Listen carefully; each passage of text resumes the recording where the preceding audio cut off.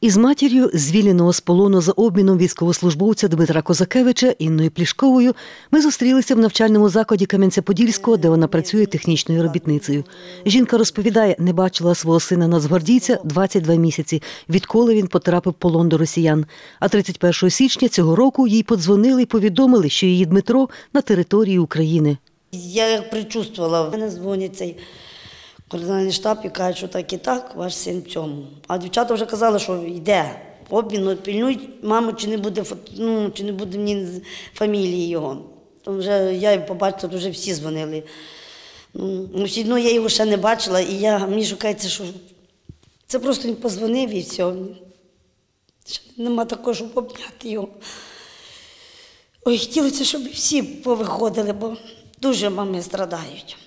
Саме під час запису матері дзвонить її Дмитро, який перебуває в карантинному центрі, де звільнених з полону обстежують медики. Ти можеш пару слов сказати, тут з Хмельницького кореспонденти приїхали. Дмитре, здрастуйте. Доброго дня. Боже, ми дуже раді вас чути. А наскільки рада ваша мама, то ми вам навіть передати не можемо. Словами не можу передати, який я радий, що я повернувся з- з полону, дочекався цього дня, освобождення.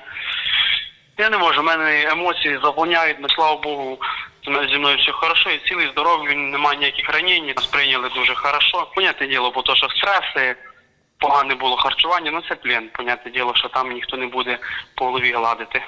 Скажіть, що би ви хотіли, щоб ваша мама приготувала вам, от коли ви приїдете? Все, що мама готує, воно завжди смачно. Інна розповідає, всі ці 22 місяці вона намагалася триматися, не дозволяла собі сліз, та тепер раз по раз плаче. Каже, її Дмитро сваритиме її, якщо побачить її в такому стані. Було, було важко. Я не подавала від. От би він побачив і сказав, мам, я ж живий, нашу ті сльози. За її словами, за весь час, доки син був в полоні, вона двічі мала з ним зв'язок. Раз по телефону, другий листом, який передали працівники Червоного Христа.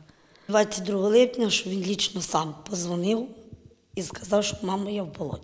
Ми йому написали, він нам написав, що живий, здоровий, там, що він, якщо можна там фотографії, то ми йому вислали, наша вся сім'я була. Інна каже, її син мав багато планів, на нього чекає його дівчина, і як буде в майбутньому, поки не загадують. Світлана Поробок, Віктор Кривий, Суспільне новини, Хмельниччина.